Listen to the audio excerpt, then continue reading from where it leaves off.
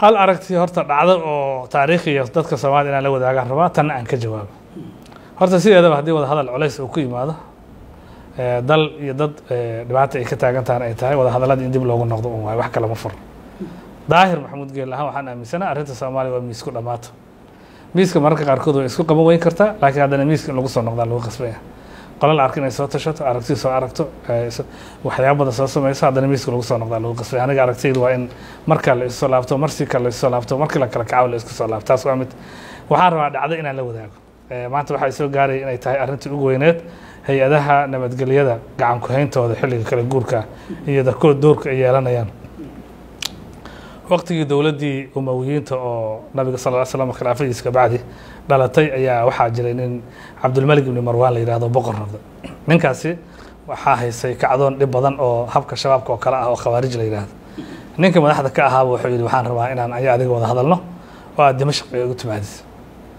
Meesha caasimadda ay ku tiilay ninkii eh, wuxuu yidhi hadda waa dirirsannahay wuxuu niyo anaa ammaankaaga damaanad qaaday. Waad ii imaanaysaa waa wada hadlaynaa aan heshiin aan heshiin weyno. Meeshaadii adigoo nabad ah ayaad ku soo laabanaysaa.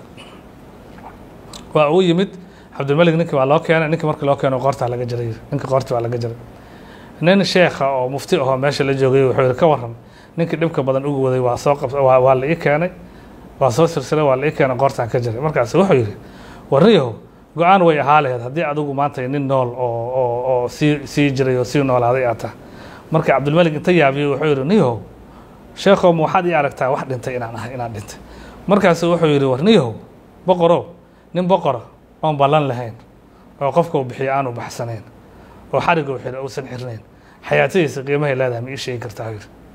Nin baad ammaan gelisay nin baad wax u ballan qaaday nin baad tidhi nabadaad ku noqonaysaa nin baad wada hadal ugu yeertay waa dhagartay. Ma ii sheegi kartaa yidhi waxa ay noqon karto. Cabdilmalik waa yaabiye wuxuu yidhi wuxuu yidhi hadalkan haddii hadda kahor aan maqli lahaa wouna anfici lahaa. Oo waxba uu itar lahaa buu yidhi. Eh, madaxweynaha eh, hadda joogay eh, oo xilkiisu dhammaaday eh, guddoomiyihiisi baarlamaanka iskaleen ciidana ugu baqdo qaawiyey. Gudoomi eh, ra'iisul gal- isgaleen si aan sharci ahayn u maagay madaxweyneyaashii ka horreeyay weerar ku qaaday. Guryo siyaasiyiin buu u dhacay. Marnaba kuma soo dhicin.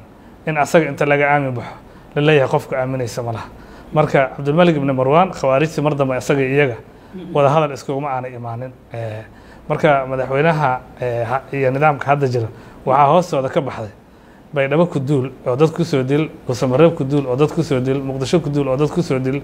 Madaxweynaha xilka ku wareejiyey weerar gudoomiyahaaga ciidan oo kor dhoob ra'iisul wasaarahaaga xabad kala daal ee markuu xilka ka degay dadkuna sidai ha ku aaminaano madaxtooyada ha kugu yimaadaano inaanay isqabanaynin marka waxaan leeyahay eh, walaalkayo waqtiga lagu aamin lahaa waa uu kaa dhammaaday.